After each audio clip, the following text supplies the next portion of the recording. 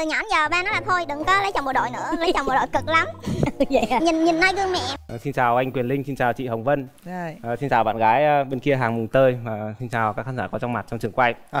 tôi xin tự giới thiệu, tôi tên là Nguyễn Cao Bum, Ờ, năm nay 29 tuổi, ờ, cấp bậc thượng úy. Hiện tôi đang công tác ở Trung đoàn Không quân 935, Sư đoàn Không quân 370, quân chủng phòng không không quân. À, em hiện đang ở Biên Hòa. Biên Hòa ha. Vâng. Mời nhà gái nào. Dạ, con xin chào cô Hồng Vân, chào chú Quỳnh Linh, à, chào à, anh bên kia và toàn thể mọi người ở đây ạ. Con tên là Lê Thùy Dung, hiện đang à, làm à, kế toán tại trường mầm non, sinh sống và làm việc tại à, Bà Rịa Vũng Tàu. Dung bao nhiêu tuổi rồi? Dạ, năm nay con 27 ạ. Bà Rịa Dạ. Vũng Tàu.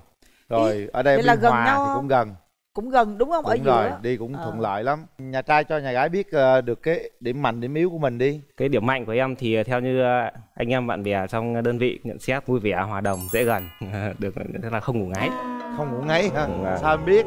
Người khác báo em ngủ trước và em Chưa ngủ chắc trước. lớn lớn nhiều khi ngáy dữ lắm á. Vâng. Rồi, sao nữa À đó là điểm mạnh đó hả? Vâng, Ờ, vâng. Vậy là mấy ông nào điểm yếu là ngủ ngáy là yếu lắm á.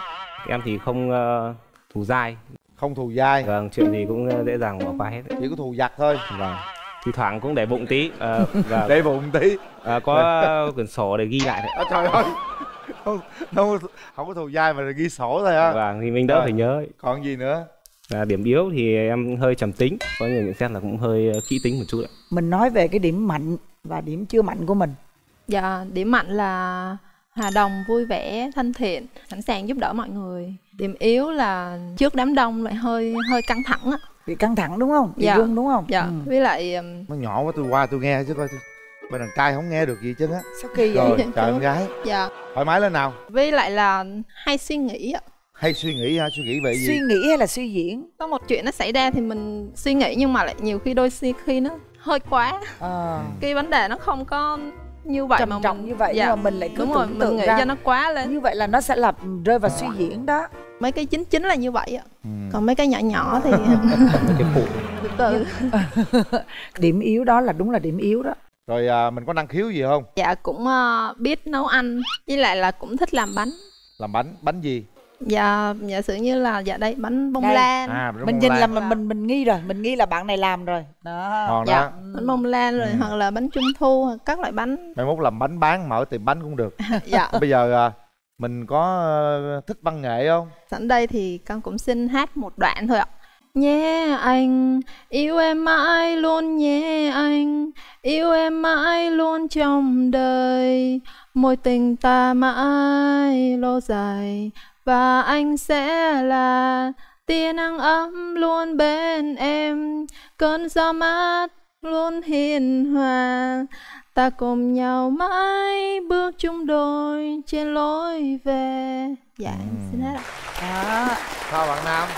à, Có tưởng tượng có giọng anh là nào? giọng rất là trong trẻo và hay ạ. Chào chị ạ. cưng. Ừ. Vâng.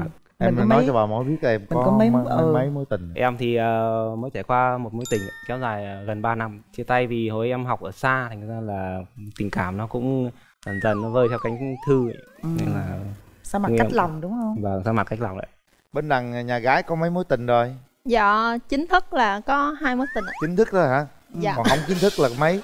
Dạ không, nó chỉ ở mức tìm hiểu thôi thì chắc không tính đâu ạ Mối tình dài là được mấy năm? Dạ được gần một năm. Cái thời điểm đó công việc cũng đang bấp bênh Ừ. Mà cái thời gian gặp nhau nó cũng không nhiều Ừ. Rồi đôi khi cảm giác như là hai người không thể hiểu được cho nhau Nên Rồi. là nó Có ghen đến không đâu nè? Bây giờ cô hỏi có ghen không? Dạ, thực chất là ai cũng ghen hết á Ừ. Nhưng mà cô ở mức vừa phải thôi Vừa phải thôi phải không? Dạ. Em nhưng mà gia đình em có cho lấy chồng bộ đội không? Bởi vì biết lấy chồng bộ đội là chúng ta phải hy sinh về cá Rồi. nhân của mình rất là nhiều luôn á. Dạ, thực chất là ba em cũng là bộ đội À. Dạ, bây giờ ba về hưu rồi Ừ, rồi ba có có dặn gì khi lấy chồng bộ đội gì không con? Từ nhỏ đến giờ ba nói là thôi đừng có lấy chồng bộ đội nữa Lấy chồng bộ đội cực lắm Vậy à? Nhìn nhìn noi gương mẹ thôi đừng có lấy nữa Ừ, nhưng mà tại sao con lại ờ, vẫn quyết định lấy chồng bộ đội? Dạ thì cảm giác như là bộ đội thì chín chắn hơn Những lúc mà xa thì không nói Nhưng mà những lúc gần thì người ta sẽ bù đắp cho mình Ừ, Những cái đất. lúc mà mình thiếu hụt tình cảm. Vậy con quyết lấy chồng bộ đội ha. Dạ. Đó. Đó. Rồi con diễn tả cái cái mẫu hình lý tưởng của con như thế nào?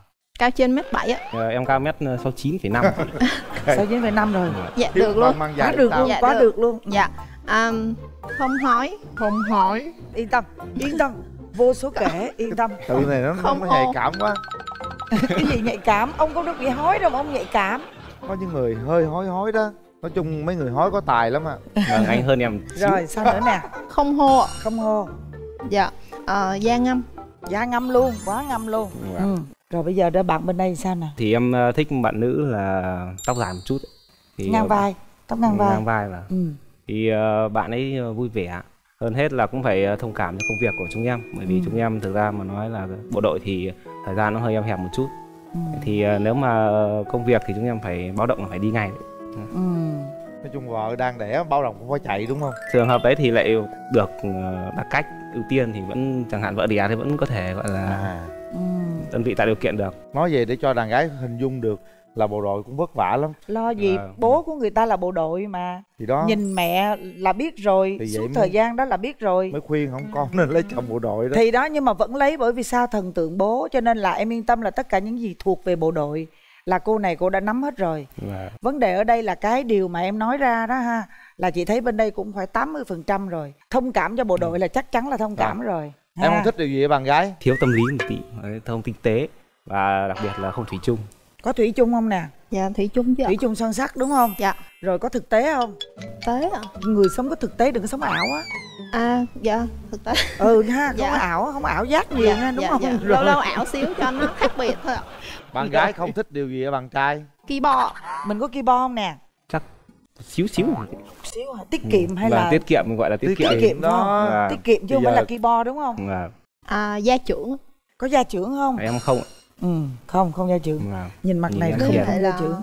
đừng có em gái mưa em gái nắng gì nhiều. Có mưa nắng gì không? Với em gái nào không dạ không. Mình là mấy mối tình? Em một một. Ừ, À. bên đây ta hai mối tình nhưng mình mưa nắng hơn người ta nữa.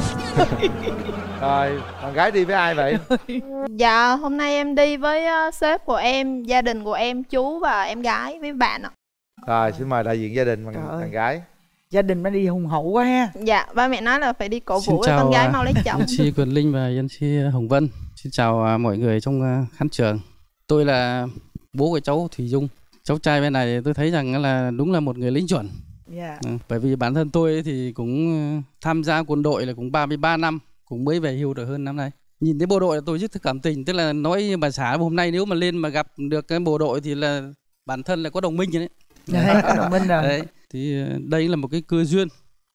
Thì cũng mong là sao là hai cháu tức là bấm nốt rồi tức tiếp tục tìm hiểu rồi tiến xa hơn nữa thì có cái ngày vui để rồi là báo cáo cùng với ờ, chương trình. Để xin hết. dạ dạ rồi cảm ơn chú cảm ơn bố anh trai đi với ai em đi với lại ờ, các thủ trưởng cho đơn vị và có chú và thím của em mời thủ trưởng ạ Dạ, xin chào anh Quyền Linh, chị Hồng Vân. Xin ờ, chào gia đình bạn gái. Tôi tên là Đỗ Văn Bình, là chỉ huy đơn vị chỗ đồng chí Bun công tác. Nói về đồng chí Bun ở đơn vị thì là một đồng chí ờ, thì luôn được thủ trưởng cấp trên cũng như đồng chí đồng đội tin tưởng, yêu quý. Và qua lời tâm sự cũng biết hai bạn có vẻ cũng khá hợp nhau. Hy vọng hai bạn sẽ cho nhau cơ hội để tìm hiểu và tiến tới xa hơn. Về để nhận xét thêm thì xin ờ, phép ờ, chú cho đồng chí Bun. Dạ đã mời chú ạ. Chú quan sát thấy là cũng rất là tốt tính nét như thế là cũng đạt. À, thì chú mong là sau cái buổi gặp gỡ hôm nay ấy, thì các cháu tạo điều kiện nhiều hơn để tìm hiểu sâu hơn nữa. Nếu mà tốt hơn là tiến tới. Một cái ngày vui nữa thì gần đây để cho đơn vị rồi thì gia đình sẽ có những cái cuộc vui hơn. À, Dạ. xin hết và cảm ơn chương trình. Rồi cảm ơn chú rồi bây giờ chúng ta mở rào cho hai bên gặp mặt. Mở rào.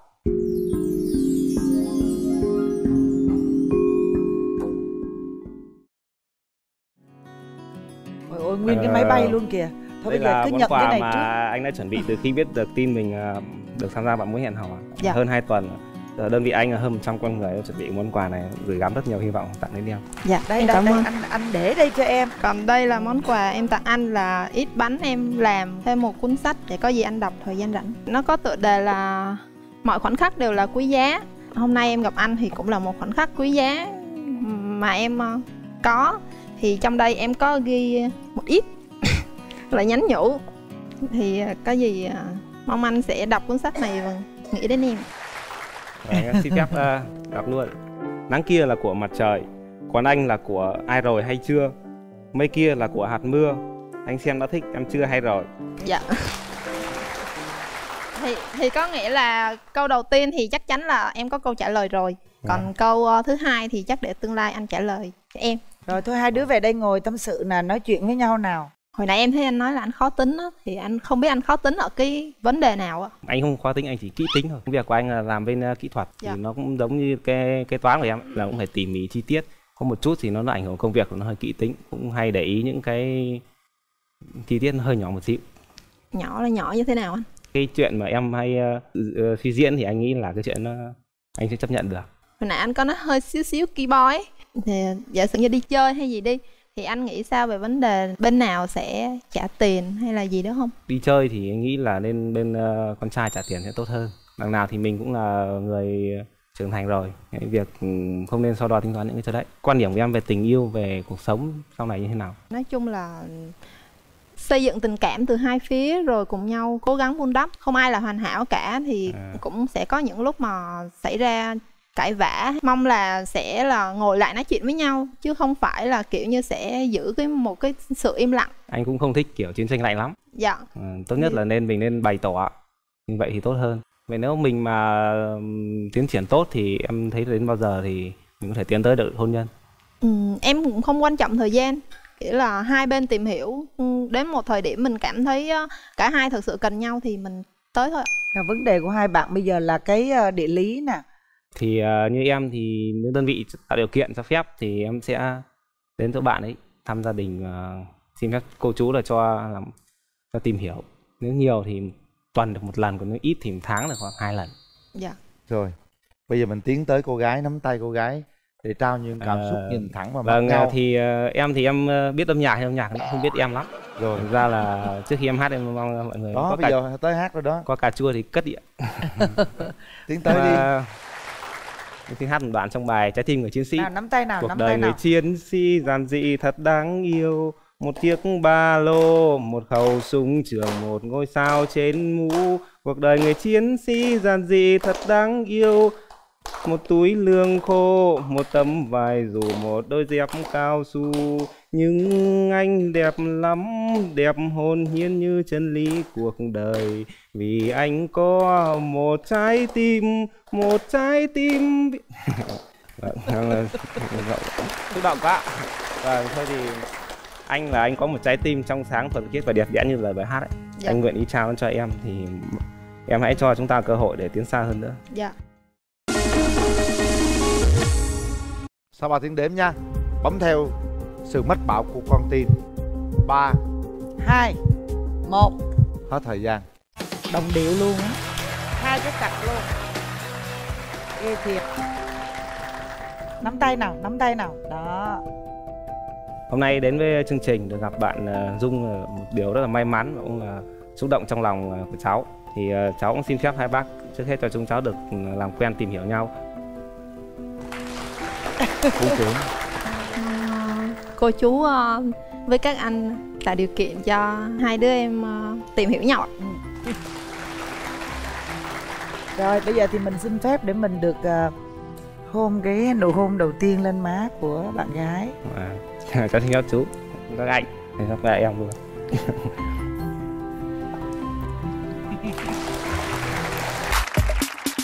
Ngồi đi bạn. Mời bạn nữ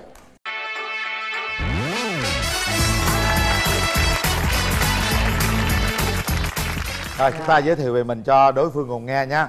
À, xin chào anh Quỳnh Linh, chào à, chị Cát Tường và bạn nữ bên kia. Mình xin tự giới thiệu, mình tên là Trương Đình Tựu Năm nay mình 28 tuổi Gốc của mình là ở miền Trung, Quảng Trị. Mình sinh ra và lớn lên tại Bà Rịa Vũng Tàu. Hiện tại mình đang làm à, tại thành phố Hồ Chí Minh. Công việc của mình là nhân viên tại showroom à, xe máy của Honda Việt Nam Mời bạn gái. À, dạ, à, em xin chào quý vị khán thính giả. Anh Quyền Linh và chị Cát Tường Em tên là Nguyễn Thị Như Ý Sinh năm 1992 à, Tuổi thì của em là 25 Nhưng mà trên giấy tờ của em là ở 1994 Hiện tại em đang làm sale tại Wall Street English. Em quê ở Bà Rịa Vũng Tàu. Em sinh ra là ở Bà Rịa Vũng Tàu Nhưng mà quê gốc là ở Quảng Trị. Ủa? Rồi sao trùng hợp dữ vậy? Có bà con với nhau không vậy? đúng rồi đó. Điểm này mà cưới chắc đỡ tiền đưa dâu lại đỡ tiền xe ha. Trời đất ơi vậy là hợp lý rồi. Chúng ta chia sẻ chút xíu về đường tình trường đi bạn. Bạn nữ bên kia bạn à, trải qua mấy mối tình rồi? Em trải qua ba mối tình. Mối tình thứ ba thì để lại cho em nhiều sâu đậm nhất. Nhưng mà ờ, tại vì do cái ờ, tính của người đàn ông đó lăng nhăng em không có thích cái điều đó. Cho nên Mình là chia em tay đã bao lâu chủ- rồi? dạ em chia đây là cách đây là 3 tháng rồi chị. Mới 3 tháng à? Đó rồi.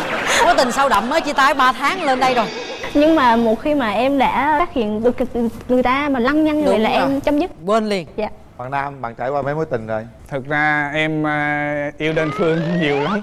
Mối tình chính thức thì có hai mối tình. Một mối tình năm 2000 2011 khoảng được một tháng là chia tay bởi vì à, bạn gái không chưa quên được người yêu cũ.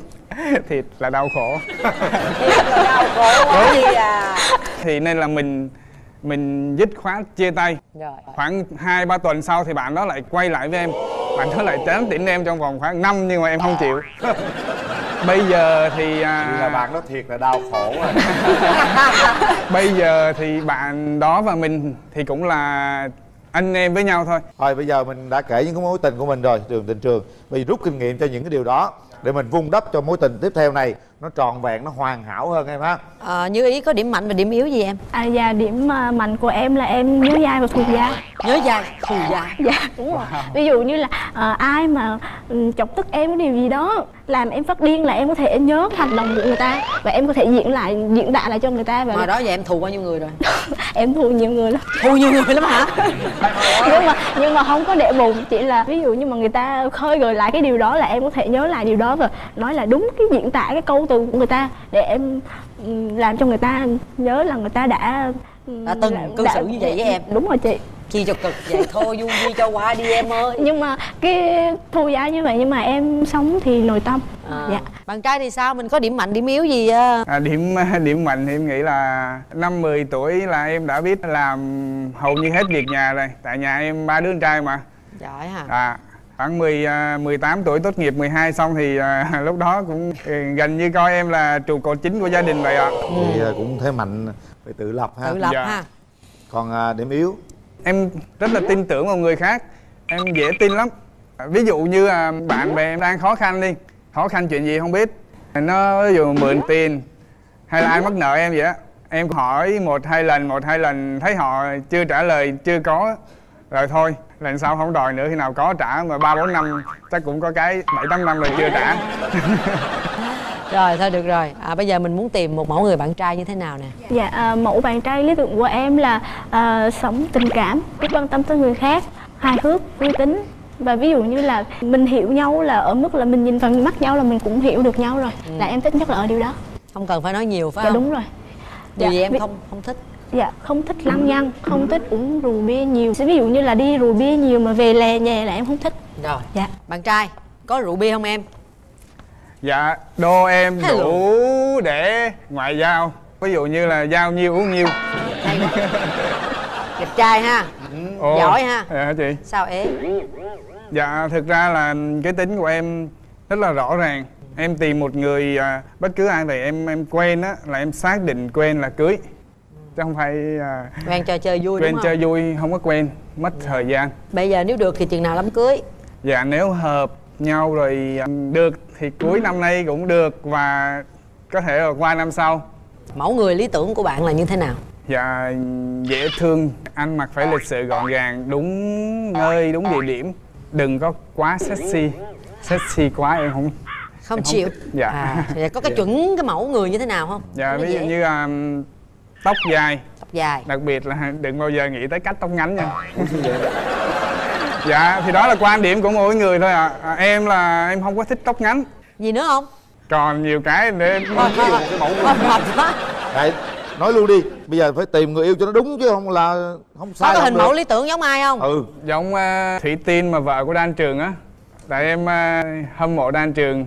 Em tin tưởng là anh Trường uh, quyết định chọn một người vợ rất là ok. Ok là ok cho đang trường chứ đâu phải là ok cho em. Thì em ý là, chọn thì theo ý, ý là em. mẫu của mẫu mẫu như vậy. giống giống vậy sao Rồi. trách ta được? Hết chưa? Dạ. Về nha. Dạ. Tôi thích cái mẫu vậy mà. Miễn sao giống giống mẫu gì ha. Để qua coi giống vợ đang trường hay không nha. Rồi. Yêu cầu đàn trai là vậy. Không biết. Trắng tươi à. Dễ thương. Nhưng mà con cái này nè khoảng khoảng dày dày được không? Vậy hả? Dạ được, ngang vai là được. Không Đừng có, có, có cao có, có hơn màu vai được không? Hả? có màu được không? Dạ, màu à, tối tối thôi. Đừng có vàng. Mà nó cũng vàng đó. Vàng hả anh? Ừ. Nó Em đây. ơi. Hả? Nếu mà quen à, Thôi để em coi lại. Có thể là biết không? Nhiều điểm tốt có thể bù lại à, còn tiếp nữa còn có tiếp cái câu đó anh. lại cũng được em? Dạ. Ờ, một cái người mà cũng hơi khó tính như vậy em có lo ngại gì không? À, tại vì à, ba mẹ em cũng là người Trung cũng à, cũng hơi khó tính nhưng mà dù gì cũng muốn tốt cho mình thôi. Đúng rồi anh mong muốn vậy thôi nhưng nó quan trọng là quan trọng là cái sự hiểu nhau đúng là hiểu nào. nhau về tình yêu nó đủ lớn thôi. Dạ, đúng nói rồi. với ai cũng phải đặt ra những cái cái cái đối tượng nào đó nhiều cái đặt cao đó nhưng mà gặp tình yêu rồi là quên hết thôi. Dạ. Ha thôi được rồi anh thấy thế này nè hai bên cũng rất là ờ, năng động. Hai người cũng là người những người suy nghĩ hiện đại hợp lý đấy. Bên kia cũng rất dễ thương. Quan trọng là các bạn nhìn coi tình yêu đủ lớn để vượt qua tất cả mọi thứ thôi ha. Dạ. Thôi mình hỏi thăm người thân chút xíu đi. Em có đi với ai em hỏi đi. Dạ em đi à, với dì của em. Dì, Dì thay mẹ. Cô xin chào ờ, Huyền Linh và Cát Tường. dạ. À, xin chào ờ, quý khán giả. chào cô. À, nói chung là dì à, thấy phải nói là dì rất là cảm động. Khi là mình là người Quảng Trị mà lại gặp ngay cái người Quảng Trị.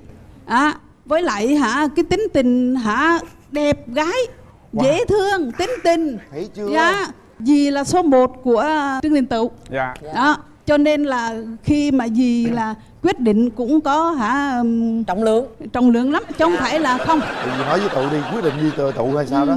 Quyết định luôn Cuối năm À. cưới được không dì? À, không có sao hết á. Dì chỉ mong hai con hả luôn luôn nhìn về một hướng. À, với lại hả dì hả Mà mong hai con là xấu hả là cái chữ này thôi. Dạ.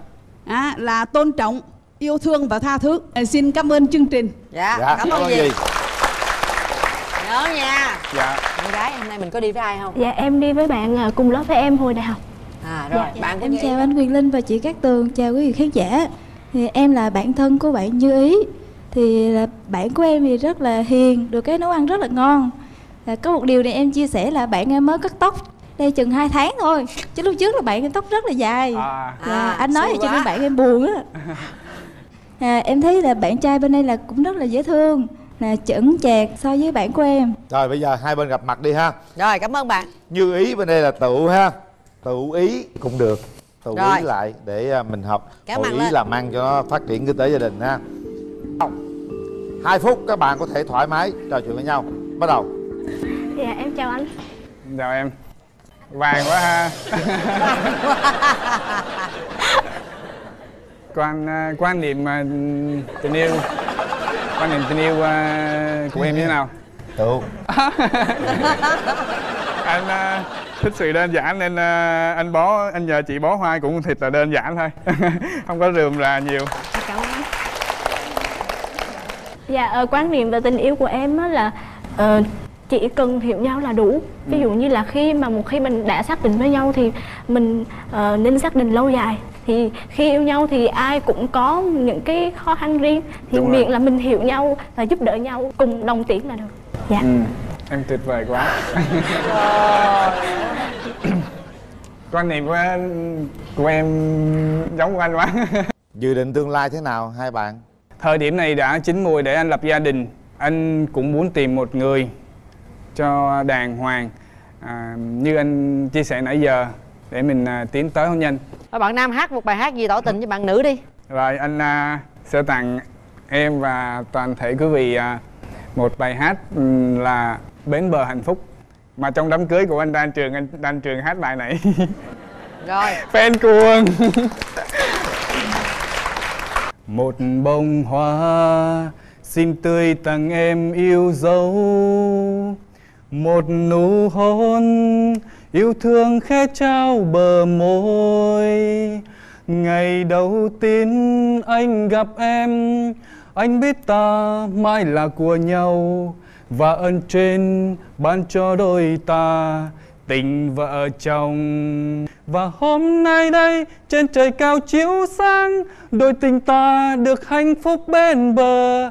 Em xinh đẹp kiêu sa Điệp từ trong giấc mơ. Anh mỉm cười Cầm tay em khẽ nói I love you. Rồi, cảm ơn hai bạn. Bây giờ chúng ta để tay vào nút bấm đi các bạn. Quyết định một điều rất thiêng liêng các bạn nhé. Có gì ngồi đây Có người lớn, có gia đình, có bạn bè Có hàng triệu người đang xem các bạn Hãy bấm nút theo con tim của mình. 3 tiếng đếm, bắt đầu. Một Hai Ba. Hết thời gian.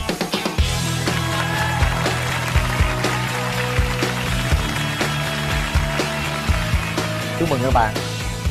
À, Ôm luôn, rồi khỏi khỏi Cho tình trạng em ha. Thôi hãy à, tìm lấy hạnh phúc của nhau. Dạ. Hãy chung một à, con đường đi ha. Nhưng mảnh ghép suốt cuộc đời với nhau. Hy vọng là điều đó sẽ xảy ra. Hạnh phúc sẽ may mắn đến với các bạn càng sớm càng tốt. Mong nhận được thiệp của các bạn. Dạ. Đây là chiếc vé xem phim của cụm rạp CD Box 212 Lý Chiến Thắng. Gửi tặng hai bạn nước xịt thơm miệng thảo dược Relax. Và quà tặng dành cho hai bạn Đây là máy nước nóng hiệu Senton Máy nước nóng hiệu Atlantic Với tổng trị giá quà tặng là 7 triệu đồng. Rồi chúc các bạn à, hạnh phúc nha. Nắm tay nhau đi đi hai bạn.